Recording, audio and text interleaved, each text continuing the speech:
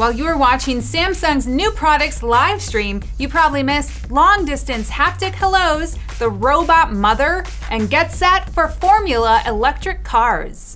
Welcome to In Case You Missed It, where you will soon be able to say, one, two, three, four, I declare haptic holographic thumb war. Japanese researchers made a haptic device allowing users to touch and interact with distant objects.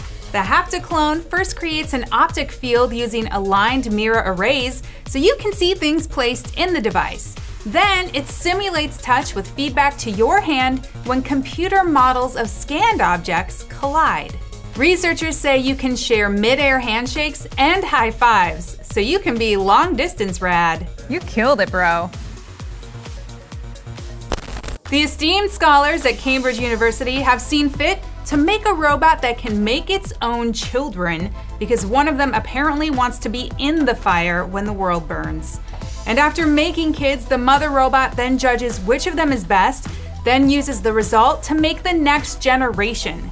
It's basically human evolution in robot form. These decisions are totally robot independent without human intervention or computer sims. So basically,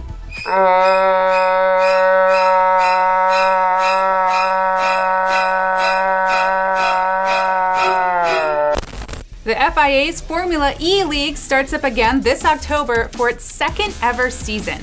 But instead of the roar of high octane engines you hear in Formula One or NASCAR, viewers will be treated to this. Which honestly sounds exactly like this. Also, today I watch cat videos for work.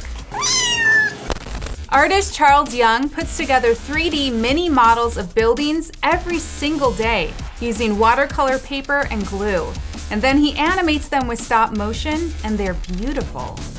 Now go create beautiful things. See you tomorrow.